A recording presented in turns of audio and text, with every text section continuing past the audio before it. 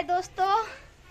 देखिए, मैं आप सबको दिखा रही हूँ। देखिए, मेरे घर में लहसुन रखा हुआ था।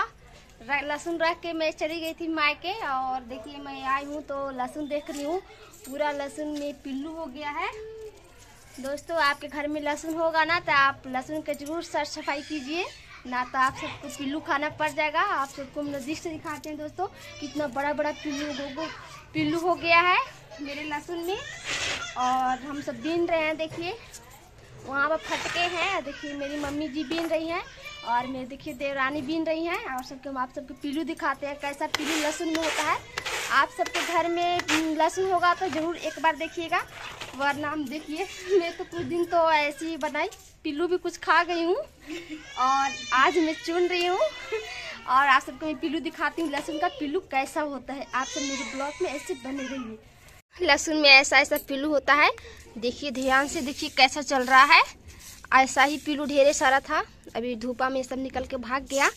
देखिए, सब दीवार पर सब चढ़ गया है। देखिए, पिल्लू कैसा होता है। देखिए, पूरा लहसुन को खा गया है। बहुत सारा इसमें पिल्लू हो गया था। देखिए दोस्तों, इतना हम लहसुन चुन लिए हैं। बहुत काफ़ी इसमें पिलुआ हो गया था।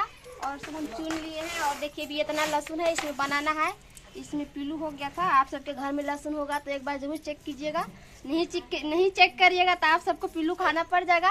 और देखिए, हम लहसुन बना रहे हैं। इसमें बहुत ज़्यादा पिल्लू हो गया था। देखिए, यहाँ पर कितना सारा चल रहा है। आप सबको दिखाते हैं। दिख आप सबको दूर से नहीं दिखेगा।